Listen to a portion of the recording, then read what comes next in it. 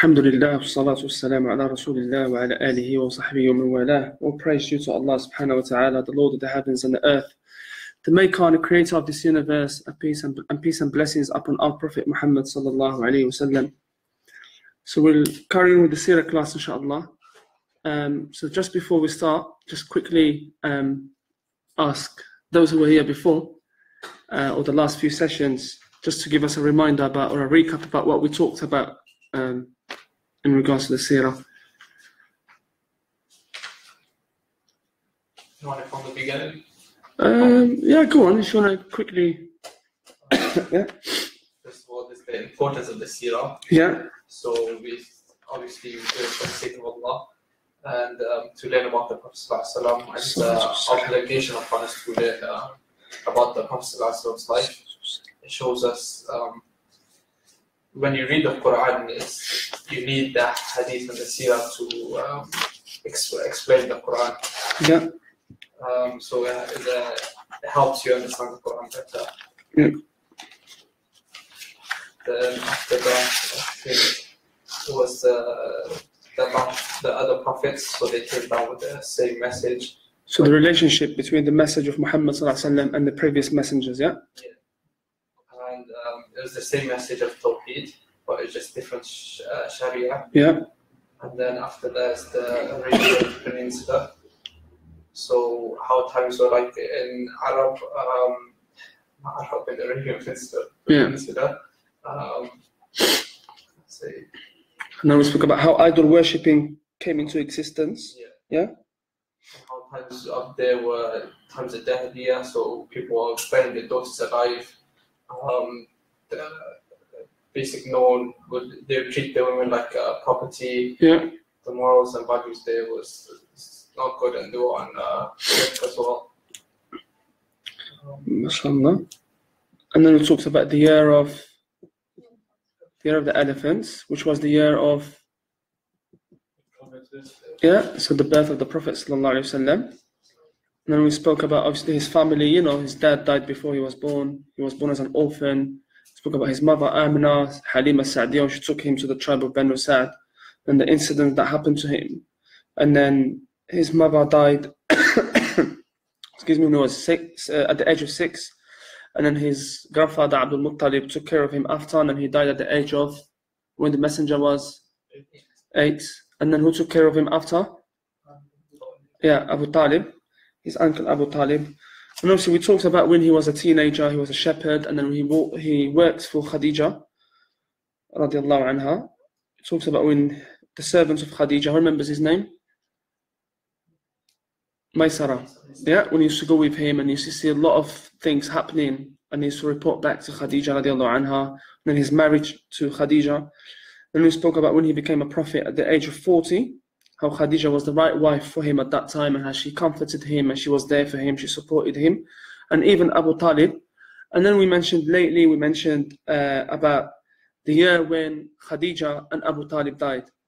So what what do what do they call that year? Yeah, or Amu, Amul Huzn, yeah, the year of sorrow. So basically, he lost two of his two of the closest people to him, which is Khadija. And what did we say? How what was the, the time between Khadija after she died and Abu Talib, according to one of the narrations? one month and five days. Yeah, it's one month and five days. There are other narrations, obviously, but because, like I said, it's it's okay in the Sirah to find sometimes different opinions and different narrations, as long as it's nothing to do with the aqidah, with the belief in Allah and stuff.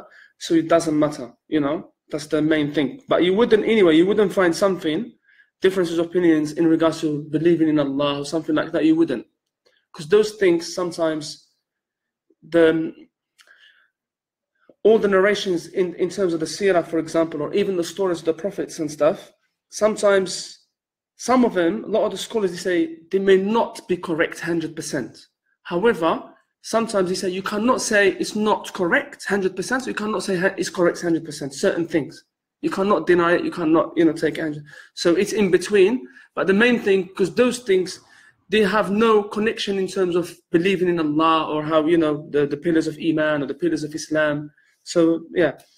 So anyway, so one of the narrations is one month and five days after Khadija died, Abu Talib died, and then that's the year of Amul Huzn, or year of sorrow. So then, what did we speak about that? What was the topic after that? Um, the Prophet went to Taif, Yeah, um, the, he had a meeting with a group of people, Yeah. leaders there, and he was telling them about Islam, but they rejected it. And he said, um, "Why that happened in this meeting? Could we keep it between us?" Yeah. But they told their uh, the, their servants, their slaves, and they attacked the Prophet. And I think um, it was Zayd, the seven, who was trying to protect uh, the Prophet yeah, but he couldn't, so they ran away into the mountains. And the Prophet went behind the, tree, and he said, "As long as Allah is happy with, with me, then He's happy."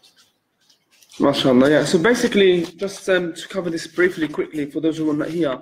So basically, what happened is when Khadija died and Abdul Muttalib, that was such a, a huge incident in the life of Muhammad sallallahu alaihi wasallam.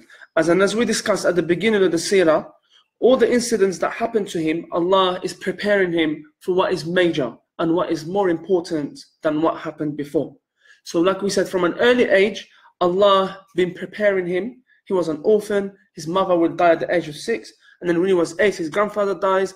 So all the people who are closer to him, or a lot of them, they died. And as he was still getting used to to his mum, because he spends quite a few years with Halima, he's getting back with his mum now. She dies. Now he's just starting to forget about his mum and getting used to his grandfather. His grandfather will die. So that, that will have an impact, like we said before, on any child. However, Allah is preparing Muhammad from an early age. And then when Khadija died and Abu Talib, because Khadija, she was supporting the Messenger wasallam from day one. She was supporting him, comforting him, spending her money for the sake of Allah, for the sake of the da'wah of Islam. And Abu Talib was protecting the Messenger. It was, those were two of the pillars that he was leaning on all the time. So now they're gone. So there's so many lessons in that. Number one, that's a reminder to Muhammad sallallahu alaihi wasallam, and a reminder to the Sahaba, and a reminder to all the Muslims until Allah will take this earth. Meaning, the main thing for you is Allah. Even if the other pillars that you are relying on in this life goes, Allah is always there. Allah will make people, will bring you people to support you, to help you, but they might go one day. But Allah is always there. The support of Allah never stops. So that is, Allah is reminding Muhammad wasallam and is teaching him a lesson, and even the Sahaba will learn from that. And we learn it from that because Allah subhanahu wa ta'ala is showing him that Allah is what matters all the time. But obviously, as a human being, he was very sad because Khadija, she was his wife anyway, and he loved Khadija. And we mentioned what he used to say about Khadija after. So he used to say, "Inni ruziqtu hubbaha." I have been granted the love of Khadija, radiallahu anha, even after the death of Khadija. And which which one of his wives was um, jealous of Khadija? Yeah, Aisha radiallahu anha. So Aisha was more jealous of Khadija than any of the other wives who would live in with her same time. She was jealous more from Khadija radiallahu anha.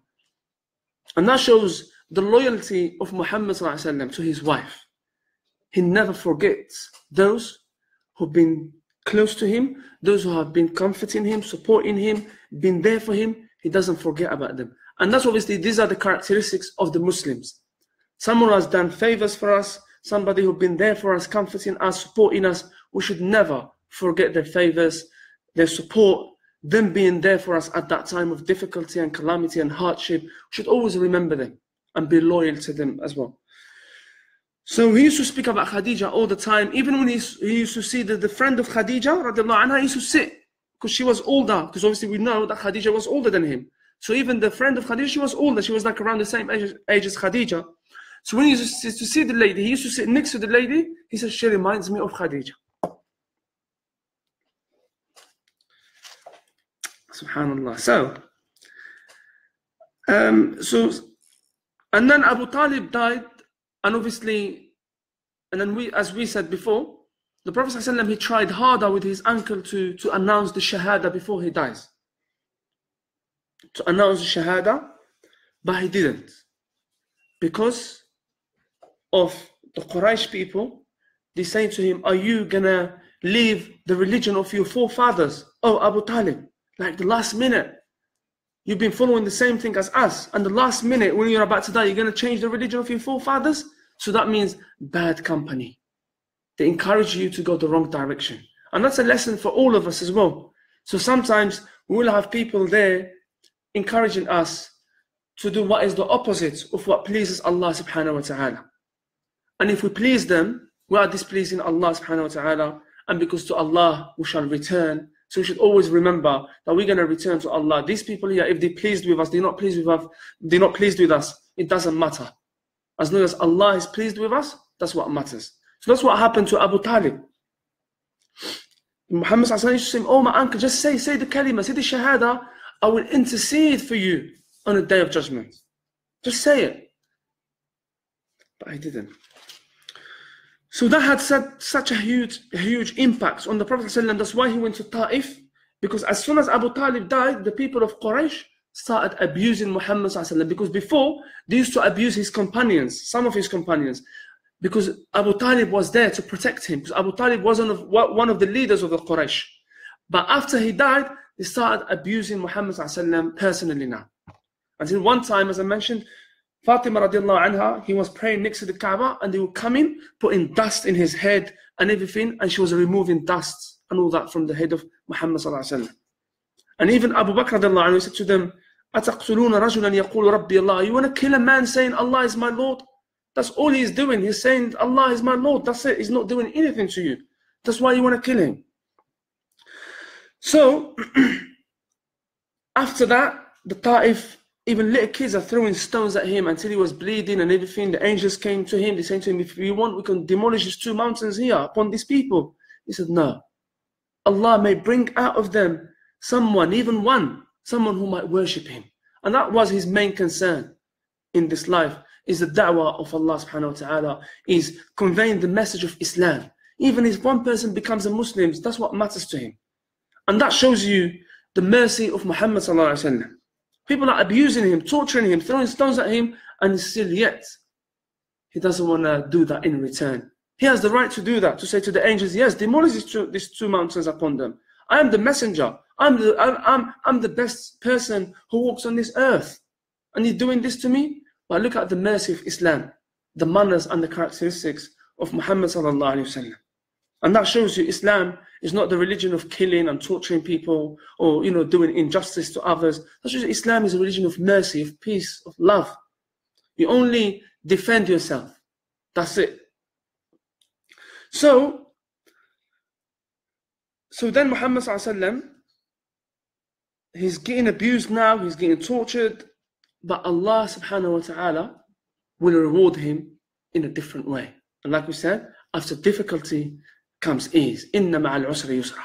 After difficulty comes ease. And we will, and we, well, we, we've been seeing that, and we will see that throughout the sunnah of the, uh, the seerah of Muhammad sallallahu we will see that. Allah is bringing ease to him all the time. Allah is bringing, after a difficult moment, after a hardship, after a calamity, ease will come. Because Allah has granted him one of the best miracles, one of the best blessings is the night journey of Isra and Mi'raj. Immediately after Khadija died and Abu Talib and what happened to him in Ta'if, Allah is rewarding him now. See, the reward from Allah comes sooner or later. And that's that's for Muhammad for his companions, but also for us as the followers of Muhammad we should always remember that ease will come sooner or later even if we're going through hardships and calamities and difficult times, we should always wait for that ease to come. And they say, the more the difficulty is becoming more hard and difficult, the closer the ease is. The closer ease is coming to you. The more difficult the situation becomes, the closer the ease will be to coming to you. Subhanallah. But see, this is something, to be honest with you, it's something that sometimes we have to be aware of it and something that we have to ponder upon and think upon it. Look, subhanAllah, Khadija died, Abu Talib, the incidents of Ta'if, you know, and everything. He's now just time of struggle, time of sadness. But Allah is rewarding him. And look at the reward. He's going to lead the salah, so the night journey. And there is the surah, سبحان الذي أسرى بعبده ليلا من المسجد الحرام إلى المسجد الأقصى الذي باركنا حوله لنريه من آياتنا. To show him from his side the signs of Allah. To show him the signs of Allah. Because people used to travel it was such a long, about a month traveling from Mecca all the way to Jerusalem, to Al Masjid al Aqsa. But he went in one night, not even the whole night. You know, he went on a journey and he went to the heavens and he came back. Subhanallah. And what happens? He's going to lead the Salah in Jerusalem, in Masjid al Aqsa, with all the messengers, and he's the leader. Subhanallah. What a, what a reward from Allah. Can you just imagine? Because to be honest with you, sometimes if we think and ponder, then we feel how amazing this is. Him leading the salah. Just think about the messengers. Think about Ibrahim alayhi salam. We hear about the story of Ibrahim, Musa alayhi salam, Isa, you know, Ismail, Yusuf alayhi salam, Yaqub. Let's look at this messenger, Nuh alayhi salam, and imagine he's the leader of all of them. He's the leader, subhanallah. He's the messengers of Allah and the prophets, and he is the leader. What a reward. What can you ask? What more could you ask for in a way? See the reward from Allah. Allah is showing him, I'm here all the time. My support is here all the time. Khadija died, Abu Talib died, whatever died, whatever goes, happens, I am here for you, O Muhammad. You know? And my reward is the greatest reward. And ease will come to you sooner or later. And that's a lesson for Muhammad, for the companions, for all the Muslims to learn. The ease will come and the reward from Allah will come. Sometimes it will come in this dunya or Allah will save it for the akhirah, for the day of judgment. That's how a believer thinks. Always remembers that Allah, if you are patient, you are satisfied with the decree of Allah, Allah will bring ease to you and Allah will bring give you the reward.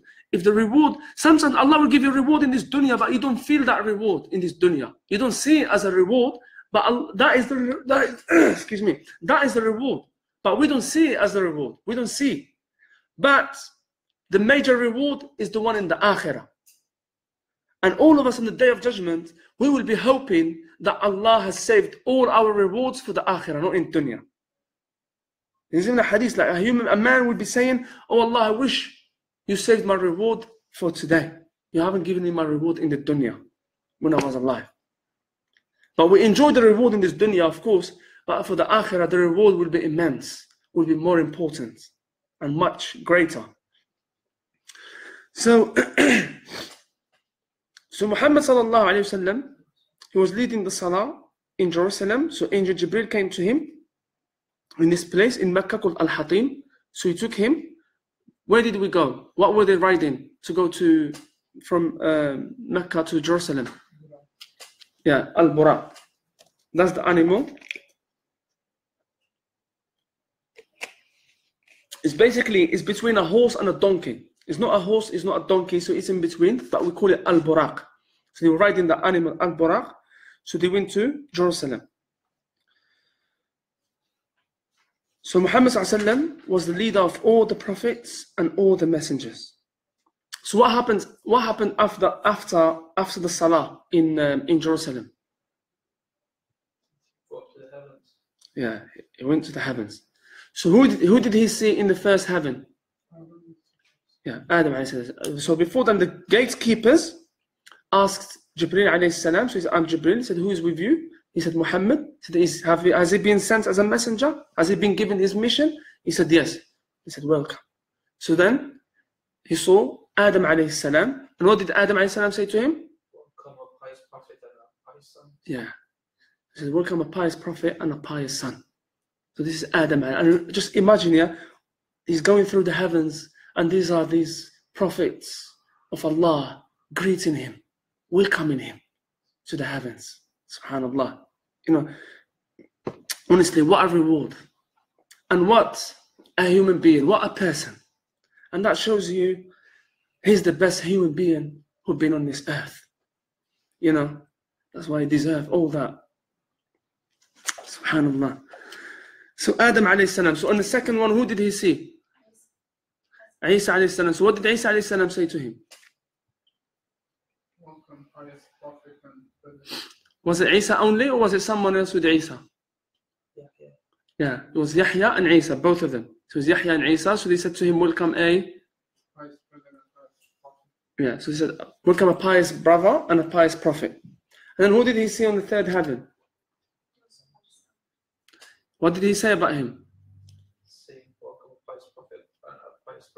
Yeah, and what did what did Muhammad say about Yusuf? Yeah, so yeah, yeah. So he said he has been given half of beauty. So Yusuf alayhi salam was extremely good looking. MashaAllah mubarak. So yeah, so he said he has he has been given half of beauty. Alayhi salam. And then who did he see after? Idris. Idris alayhi salam. So he said the same to him, will come a pious prophet and a pious brother. And then who did he see after? Harun alayhi salam. So he greeted him the same the same way. And then who did he say after Harun? Musa alayhi salam. So he said the same thing to him, will come a pious prophet and a pious brother. And then the last one, Ibrahim alayhi salam. What did Ibrahim say to him? Yeah, because Ibrahim is the father of the prophets. Yeah. So he said to him, Welcome a pious son and a pious prophet. So what, what, who did, what did he see Ibrahim? Where, where was he sitting? Ibrahim. Yeah, at Baytul Ma'mur. So in, in the heavens, there's like it's like a Kaaba, and the angels, 70,000 angels every day, they do tawaf and they go, they never return. New 70,000 angels, they come, they do tawaf and they go. So Ibrahim alayhi salam was sitting and leaning on at Baytul Ma'mur. And this is Ibrahim alayhi salam. So then he went to, what's the, what do we call it? Yeah, Sidratul Muntaha. Yeah. So Jibril salam is not allowed to go beyond. That's it. He's not allowed to go beyond that point. That's it. So it was only Muhammad sallallahu alayhi wasallam. So he went to see Allah subhanahu wa ta'ala. Look, honestly, look at the rewards now. So look, from the beginning, leading the salah with all the messengers through the heavens, the gatekeepers opening the gates for him, the messengers are greeting him, and now he's going beyond even Jibril alayhi salam. He's going beyond to see Allah, the Creator. Subhanallah. So when he came back, he was asked, Did you see Allah? He said, Nurun anna ara. Ah, he's a light. I just saw light. How can I see Allah? Subhanahu wa ta'ala. He said, Nurun anna wassalam. So, and then he went to Musa salam. So what did Musa say to him? What did Allah order him to do? Salah. And then Musa alayhi salam, what did he say to him? The nation won't be able to pray 50 times a day. Yeah, so so Allah ordered him to pray 50 times a day. So Musa alayhi salam said to him, Oh Muhammad, go back to Allah and ask him to reduce it because your nation will never be able to pray 50 times a day. They will not be able to do it. Because Musa alayhi salam, he had such an experience with the Bani Israel and he knew that that would be impossible for them to do. And like we said, now people they struggle with five daily salahs, let alone 50, subhanAllah. So he went back to Allah, and Allah reduced it to 40. So he, Musa asked him again. He said, Go back to Allah and ask him, they will never be able to do 40. He went back to Allah. So every time Allah was reducing it by 10. He got to 10. Allah, and Musa said to Muhammad, Go back to Allah and ask him to reduce it because your ummah, your nation will never be able to do 10 salahs a day. He went back to Allah, reduced it to 5. And even then, Musa said to Muhammad, Go back to Allah and ask him to reduce it. And Muhammad sallallahu was too shy and too embarrassed from Allah at that time to go because he reduced it all the way from 50 to 5. He said, I feel embarrassed now to go back to Allah and ask him to reduce it below 5. Meaning he reduced it more than enough. You know? Allah has so much mercy upon me and my ummah because he reduced the salah from 50 to 5. How can I go and ask him to reduce it anymore? So then, obviously, Jibril alayhi salam took him back on al buraq, and in the morning, he was telling the, the Quraysh, telling them, the people of the Quraysh, saying to them what happened to him the night before. So they started laughing about him. He told Abu Jahl, who is one of the leaders of the Quraysh and one of the leaders of the, the enemies of Islam. So he was laughing about Muhammad. So he said to him, Oh, if I gather the people of Mecca around you now, will you be able to say the same thing to them that you said to me? Muhammad said, Yes, of course. So he got all of them gathering around Muhammad. So he told him, he told them what happened. He told them what happened. So then they all started clapping and whistling and make, meaning taking the mick out of Muhammad. And when Abu Bakr he met some of the people of Quraysh, and Abu Bakr anhu, he haven't met Muhammad by, by now. So he haven't met him for Muhammad to tell him what happened to him. So when they told Abu Bakr radiallahu anhu, he said, Have you heard what your friend was saying this morning happened to him last night? He said, What did he say? He said to him, This is what he said, meaning about the night journey and everything. He said, If he said it, then I believe him. See the Iman of Abu Bakr radiallahu anhu, like we said, he had Iman, strong Iman in his heart. He would believe it. He said, If he said it, I believe it. He doesn't go question how did it happen, when, where, this. He doesn't question. That's it. Because he had that faith. Because he knows, he knows that everything that's coming to Muhammad is a revelation from Allah. He doesn't question him anymore. That's it. He has that faith in his heart. And of course, there is a wisdom also by Allah subhanahu wa ta'ala why Khadija died, why Abu Talib died, and why Abu Bakr was still alive. You know, and why Umar, obviously Umar is not Muslim by now, but why Umar, why Uthman, why Ali why are these people going to stay with the Prophet They're not going to die before him. All this is a wisdom by Allah subhanahu wa ta'ala. And why Abu Bakr is the closest person or the closest friend of Muhammad is Abu Bakr radiallahu anhu. So now, the Prophet Allah has ordered him to start inviting people to Islam. Now he's going to start inviting the tribes that come to pilgrimage in Mecca every year. He's to, he's going to start inviting them and calling them to Islam. He's going to start preaching Islam to them. And even though he's doing that, but the people of Quraysh are still abusing him, still trying to stop him from his da'wah, from conveying the message of Allah. So he's gonna start talking to some tribes. Some of them will ignore him. Some of them will not listen to him. Some of them they will be influenced by the Quraysh. The Quraysh will influence them, say to them, "Don't listen to him. He's a crazy person. He's majnoon. He's a magician. He's that. He's this. He's that." So some people they will ignore Muhammad But some of them, some of them they will listen to him. He found a group of people from Medina from Al Khazraj, because there's two tribes of the Arabs in Al Medina called Al Aus and Al Khazraj. So and we're gonna we're gonna discover about Aus and Khazraj because these, these used to be enemies, these two tribes, Aus and Khazraj, before Islam, before they became Muslims, they were enemies. They had fights between them for more than about 100 years or maybe more. But later on, we're going to see when they're going to become Muslims, how they're going to become brothers how Islam brings people together. Subhanallah. Can you imagine? One century they fighting one another, they hate one another. But when they become Muslims, when Islam goes inside their hearts and Muhammad become their leader, their teacher, they're all gonna have the love for one another. So there is a man called Asad ibn, ibn Zurara. He was one, there were other men with him, one of them called Rafi ibn Malik, Ubad ibn Samit, he's one of the famous Sahaba as well. But As'ad ibn Zurara, this one's in particular, As'ad ibn Zurara, he's one of the leaders of that tribe of Al Khazraj. He's one of the leaders, As'ad ibn Zurara. So they listened to Muhammad sallallahu alayhi wasallam. So he was saying to them about Islam. So there were about 12 of them all together. So he said to them, Can I talk to you? In the beginning, he sat next to them. He said, Can I talk to you? They said, Yeah. So then he started talking to them. He said to them, preaching to them and saying to them about the about Islam, and he's saying to them, meaning, do you wanna plead allegiance to me on these conditions? So number one, he said to them, do not associate partners with Allah subhanahu wa ta'ala. And then he said to them, you do not steal from one another. And then he said to them, You do not commit zina, adultery. And he said to them, You do not kill your children, your kids. And then he said to them, You do not spread rumors between one another. And then he said, You do not disobey my orders, my commandments. Meaning, on what is coming from Allah subhanahu wa ta'ala.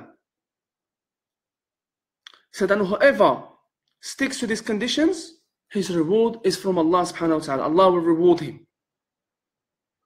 And he said, and whatever happens to you, meaning something bad that happens to you in this life, meaning Allah is wiping out your sins.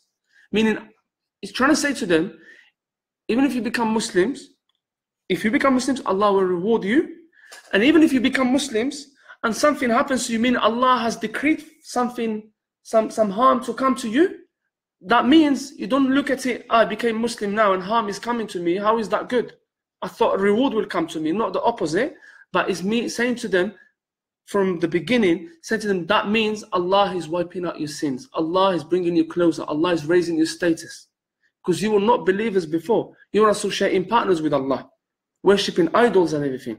That's why when a, when a person becomes a Muslim, immediately after become a Muslim, Allah does wipe out all his sins and he turns them into good deeds.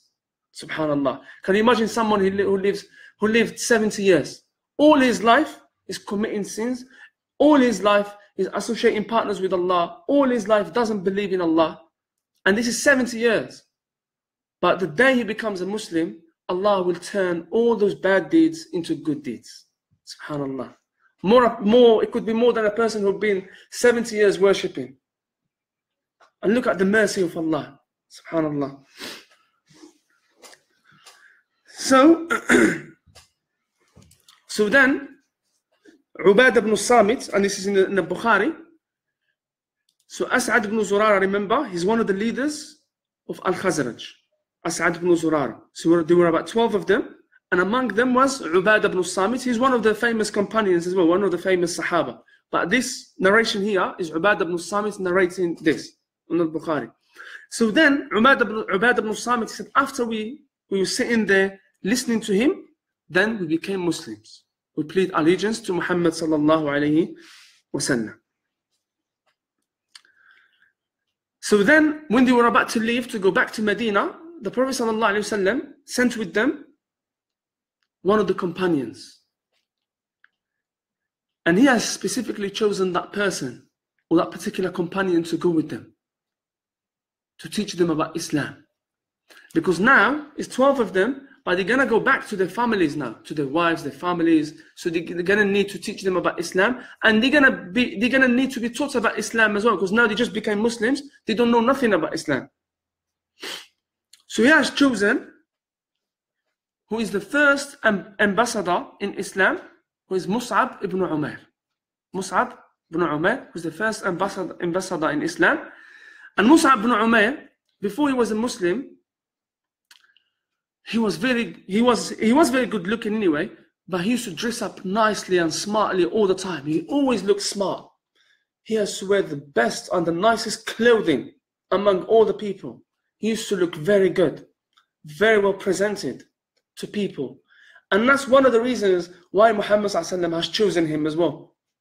Obviously, because he had the knowledge, but also because sometimes a person who is giving da'wah, conveying the message, they need to be good looking and they need to be dressed up nicely, looking nice. So even when they go to talk to people to present Islam to them, people don't let, don't look down on them because of their appearances.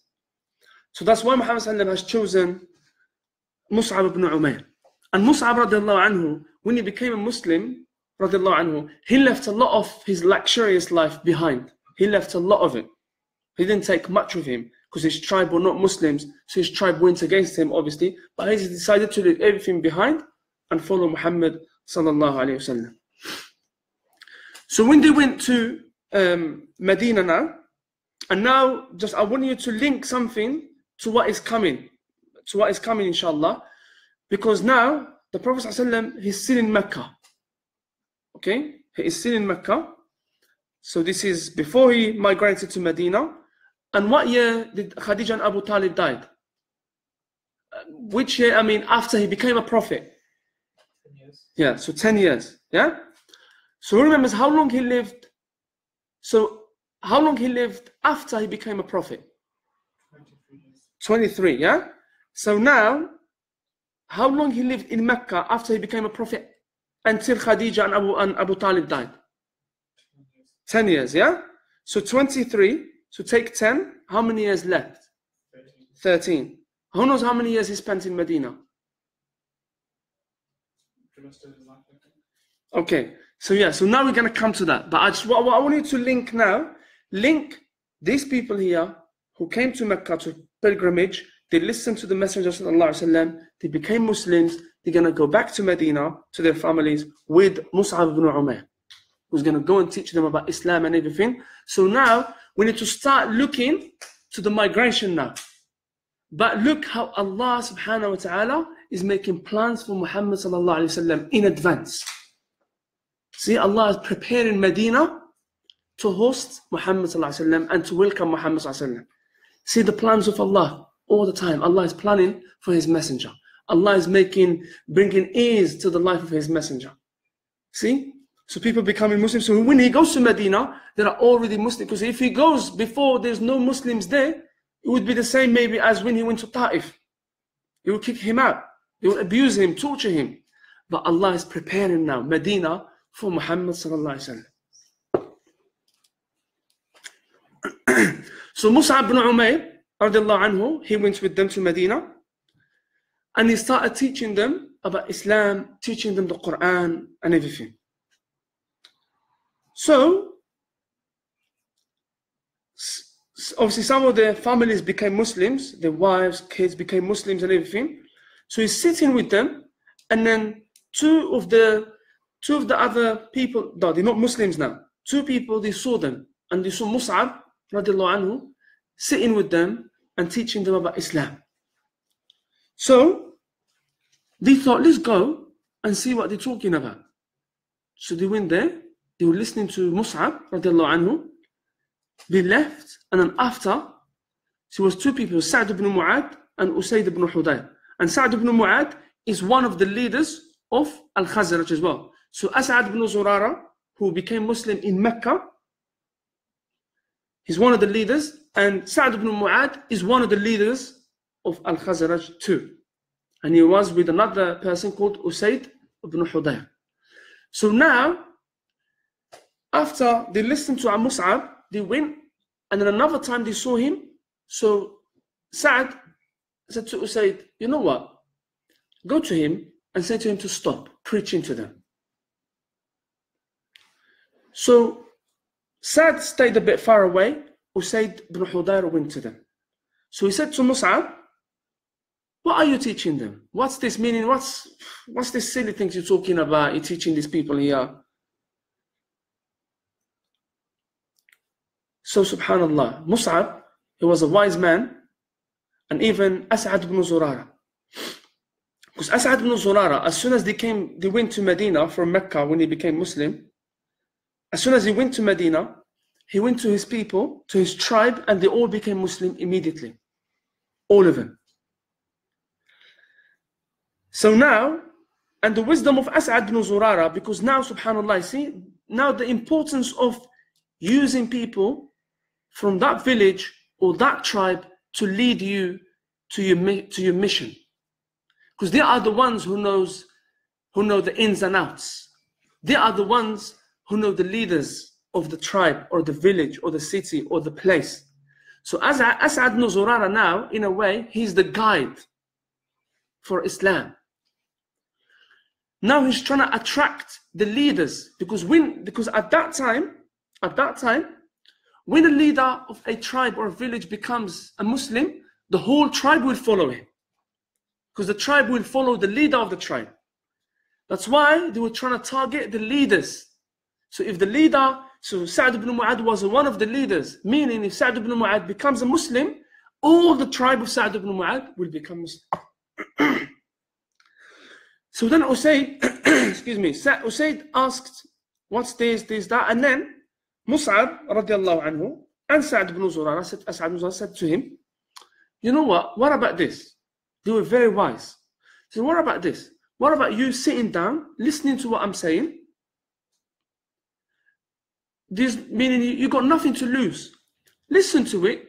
If you like it, I mean, they said in the beginning, if you don't like it, if you don't like what you're hearing, that's fine. You don't have to follow it. No problem. If you like it, then good. So meaning you got nothing to lose. Just sit down and listen first. Why are you having that negative mindset from the beginning? You're rejecting something before even you're listening to it, before even you know what it is. So they were very wise. So he was listening, and then he said, Wow, he said, By Allah, this must be the truth. This must be a message of a messenger. And he became Muslim immediately. He said to Mus'ab, he said, What do I need to do now if I want to become a Muslim, if I want to follow your religion? What do I need to do? He said, All you need to do, go and wash, meaning pur- purify yourself, purify your clothes, and pray two rak'ahs to Allah. That's it. That's all you have to do. So he said to them, Well, you know what? Let's speak to Sa'd ibn Mu'adh because he's one of the leaders. Meaning, if he becomes a Muslim, the whole tribe will follow him. Then they went to Sa'd ibn Mu'adh. Now Sa'd ibn Mu'adh and Usayd ibn Hudayr, they were friends. Now Usayd ibn Hudayr, because he was sitting with them and Sa'd, say for example, he's sitting there, Sa'd ibn Mu'adh, he doesn't know. He doesn't know Usayd, he became Muslim now. Because he was away. He was sitting far from them. So they come into him now. They went to Sa'd ibn Mu'adh and then they started speaking to him. They started telling him about Islam and then he became a Muslim. Subhanallah. He said, I want to follow this religion. And he became a Muslim. And now Allah subhanahu wa ta'ala, Allah is putting the nur of Islam in Medina. See the beginning now, beginning stages. Before Muhammad migrates from Mecca to Medina, Allah is putting the nur of Islam in Medina to welcome Muhammad and to be a suitable place for his messenger and for his da'wah because the land needs to be pure. And there has to be the nur of Allah in there, subhanAllah. And a lot of the scholars, when they speak about this, they say, subhanAllah, Allah makes his messenger goes to places that has the nur of Allah in them. They are suitable to host Muhammad. So yeah, so now Mecca is Medina, sorry, is preparing for Muhammad. So Sa'd ibn Mu'ad went to his tribe now. And he said to them, that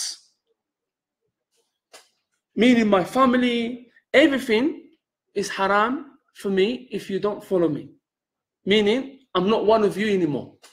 I'm not one of you anymore. I follow the religion of Allah now. I follow Muhammad. If you follow me, then that's it. Meaning we are together then. If not, I'm not one of you. But all of them, immediately, they became Muslims. All of them. The tribe of Sa'd ibn Mu'adh radiallahu anhu arda, and we're going to see after what's going to happen to Sa'd ibn Mu'adh radiallahu anhu. You know? Subhanallah. And in the meantime, the Prophet ﷺ, he carried on giving da'wah to other people who used to come who used to come to, to, to Mecca, other tribes and everything.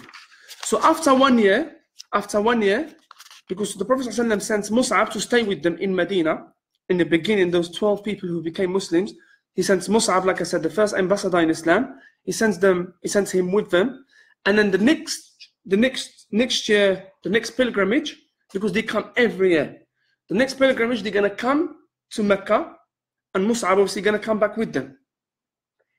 So the Prophet. So in the beginning, remember how many of them? Became Muslim first in the Medina? 12 of them, yeah. Now, when they go back to the Prophet ﷺ in, in Mecca, in pilgrimage, now they are 73. 73 men and two women.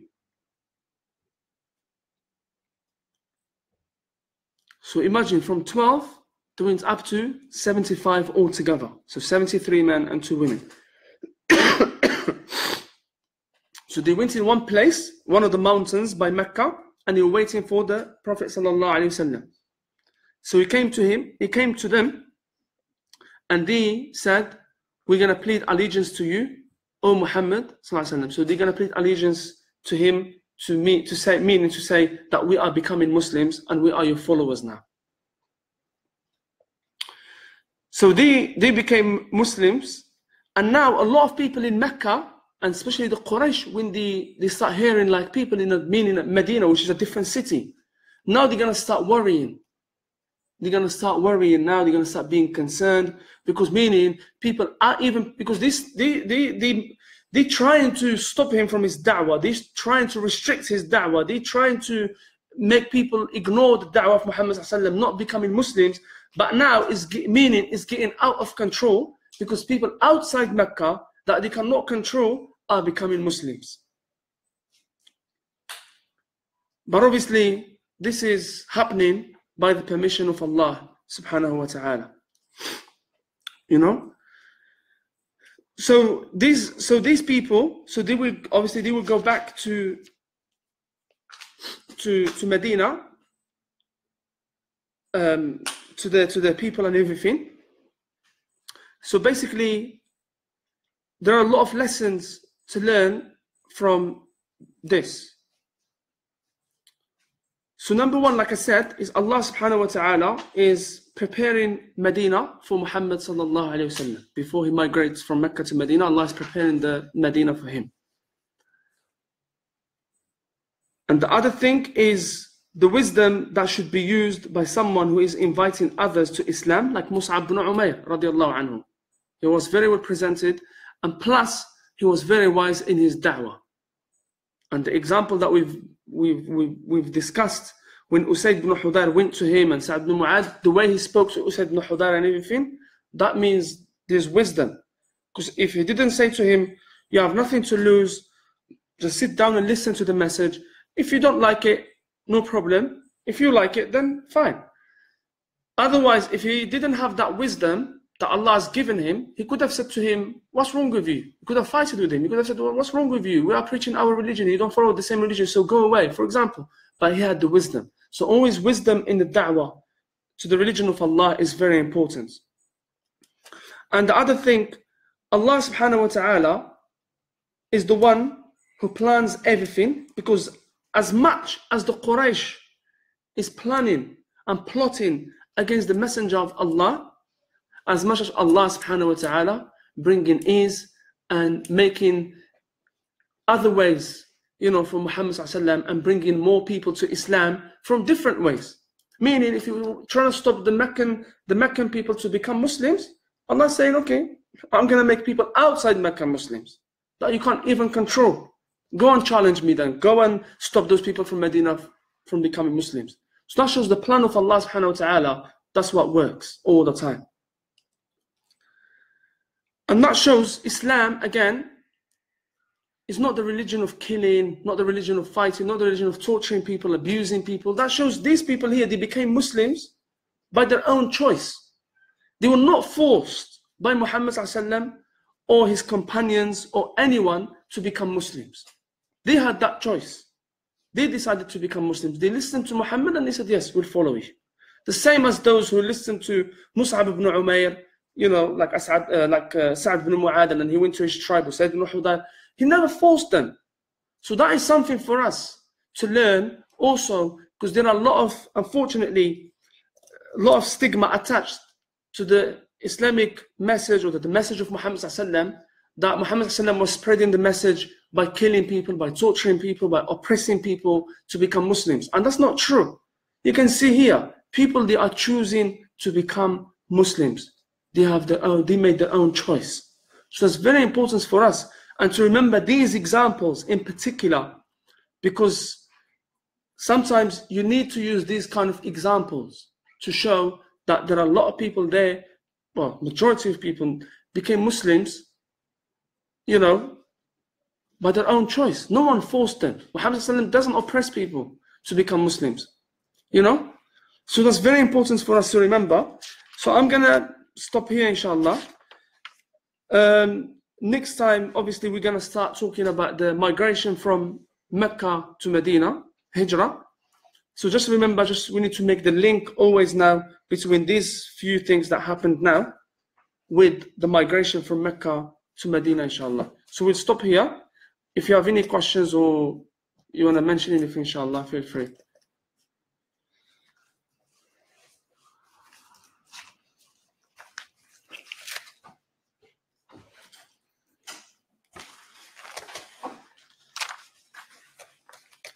Okay. الحمد لله والصلاة والسلام على رسول الله سبحان ربك رب العزة عما يصفون وسلام على المرسلين والحمد لله رب العالمين